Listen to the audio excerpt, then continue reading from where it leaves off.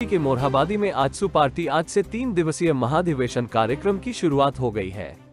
इस महाधिवेशन में बुद्धिजीवी और सामाजिक लोगों का जुटान होगा। इतना ही नहीं, राज्य सहित देश और विदेश से भी लोग अधिवेशन में शामिल होने पहुँचे।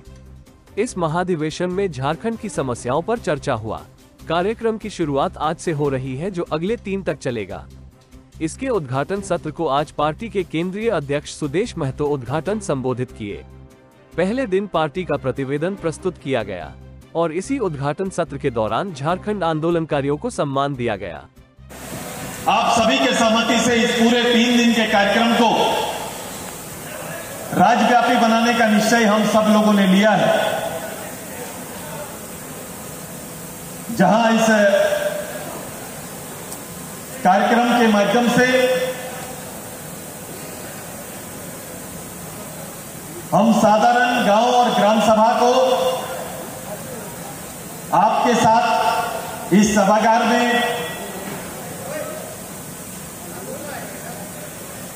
जोड़ेंगे।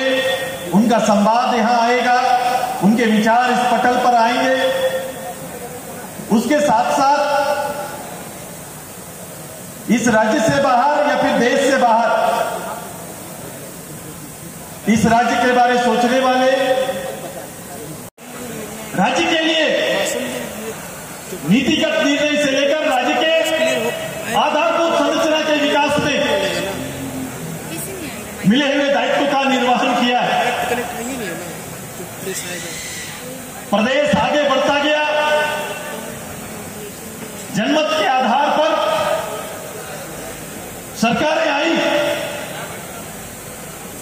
सरकारें बनी। लेकिन जैसे जैसे समय बीतता गया, लोगों का अरमान, आकांक्षा, आंदोलन और आंदोलन के औचित्य के विचारों को और वो विचार कमज़ोर पड़ता गया।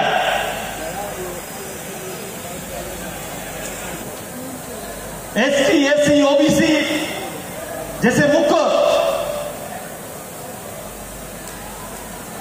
रूप से बसने वाले लोगों के पक्ष में निर्णय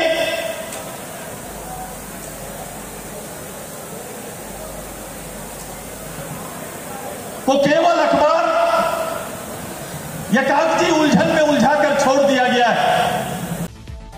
अपने राज्य से जुड़ी हर ताज़ा खबरों के लिए आप हमें सब्सक्राइब करें, साथ ही बेल आइकन बटन दबाना ना भूलें।